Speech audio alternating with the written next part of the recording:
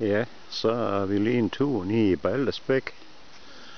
Og kigge lidt her, er de ved at ryge op nede omkring søerne. Og, og jeg kan se, at de har lukket alle vand ud af dem næsten. De skal vist renses op, så vidt vi har for du ved. Og så her lige over, her ligger slottet over på den anden side af søerne. Den ligger rigtig flot heroppe i træerne. Jeg vil lige prøve at dreje kameraet lidt rundt og, og tage lidt film med hernede.